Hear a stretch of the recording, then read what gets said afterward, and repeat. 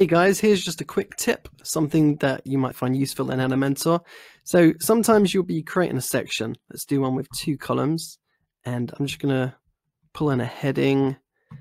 I'll also pull in a text editor. And then just below that, I'll choose a button. I can never find the button, so I'll have to search for it.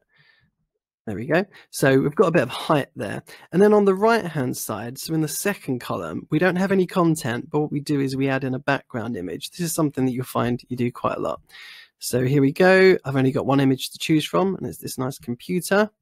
It's a little bit zoomed in, so let's make that cover. So now it looks nice.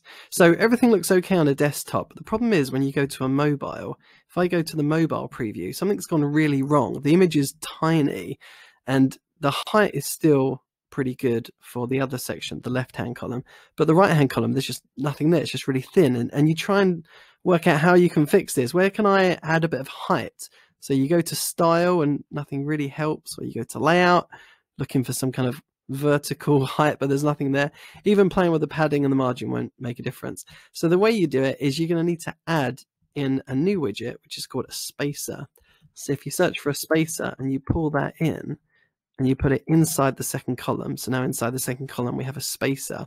Now what you're able to do is be in full control of how high this is. So there you go. You're now in control of how high you want that second column to be. And that's it.